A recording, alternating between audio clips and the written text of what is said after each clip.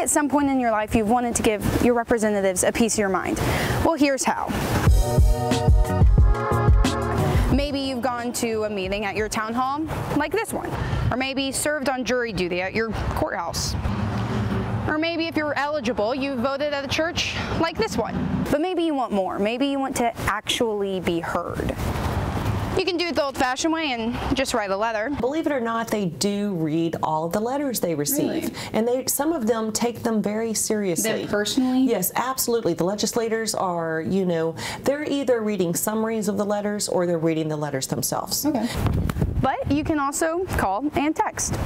Well, I know, like for instance, I've um, like you know tried to call whoever you know and say you know this is what I care about. Sure. You know this legislation, and the person on the phone listens and they go, okay, I'll tell that person. Yeah. And they just hang up. Yeah, so the intern themselves may not be the most um, maybe charismatic when it comes Right. to communicating with the constituents, but they are communicating that message. They are probably tracking that. They're probably writing down everything you say, and then they're tracking those messages in terms of what's the trend in the issues. But if you're busy or even nervous to write or call in, you can text ResistBot and do it through your phone.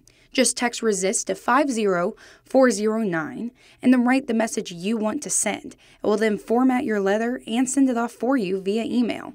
You don't even need to know your representative's name or address. ResistBot will figure that all out for you once you put in your address. So contact your officials today even. It's as simple as that. And keep them accountable. That's the only thing that's really going to keep our democracy flowing the way it should. So that's all I've got for y'all today. But if you did like this video, go ahead and let me know. Leave a thumbs up, a comment, whatever you want, and I'll see you guys next time.